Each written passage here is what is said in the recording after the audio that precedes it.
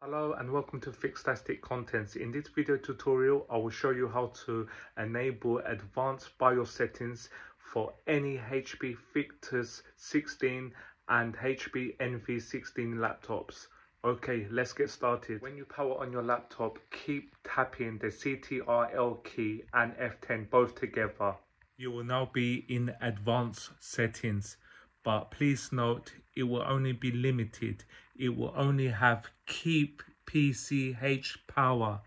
So if that's useful for you, then it's good.